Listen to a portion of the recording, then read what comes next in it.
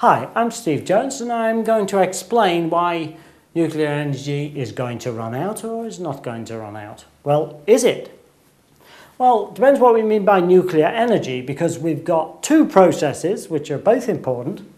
And the one at the moment that we know about, that we see a lot of, is fission in nuclear reactors.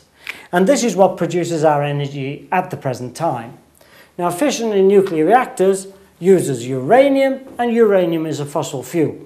Eventually, you're going to dig the uranium out of the ground and you're going to run out. Maybe it might take 200 years, 400 years, but it's going to run out. So that isn't going to last forever. But the other type of nuclear energy, which is fusion, which is the same process which occurs in the sun, where atoms of hydrogen come together to build up helium, and then helium come together to lithium and beryllium and so on, building bigger and bigger molecules. Fusion is maybe the answer to this problem. Fusion is certainly going to produce a lot of energy if we can harness it in the same way that we can harness uh, energy in a nuclear reactor. The big problem with fusion is the difference in temperature. The temperature inside a nuclear reactor uh, is something of the region maybe about 600 Celsius. So it's, a, it's hot, but it's not that hot. But for a fusion reactor, for a fusion reactor, you're going to have to have a temperature of 10 million Celsius. And try and put that in a glass bottle, you won't succeed. So the problem you have with fusion is controlling it.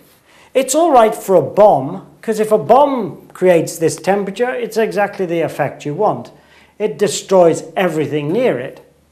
But the problem is that if you try if you want a nuclear reactor, you want, don't want it to destroy anything. You want it to create heat, controllable heat.